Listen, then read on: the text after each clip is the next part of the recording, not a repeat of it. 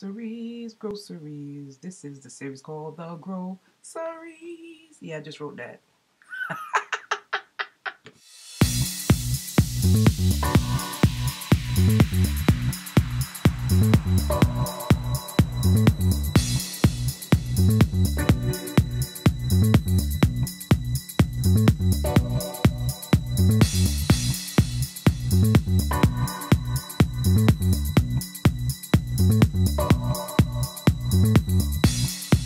Thank